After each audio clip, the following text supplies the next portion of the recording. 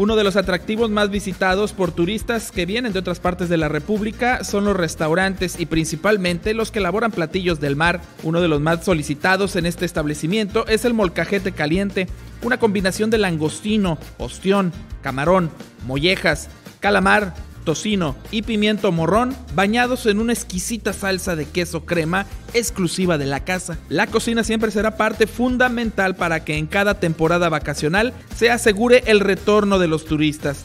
El sazón perfecto y el toque especial de chefs profesionales son la base para deleitar el paladar de propios y extraños.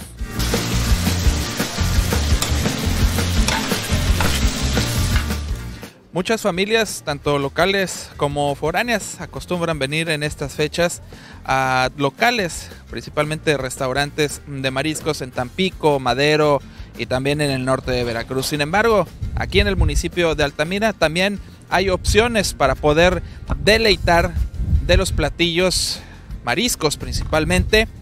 A mis espaldas el restaurante La Potosina, ampliamente recomendado por familias de la zona.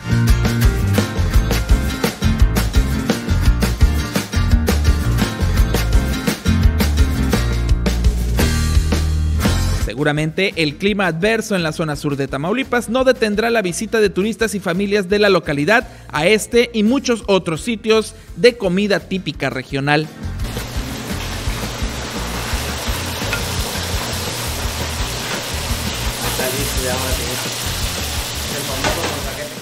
Y vaya manera de disfrutar esta Semana Santa, que mejor disfrutando de los platillos del mar y más en este restaurante reconocido del municipio de Altamira, La Potosina, desde donde le deseamos una feliz estancia aquí en el sur de Tamaulipas. Recuerda que en el 10.1 encontraste la noticia.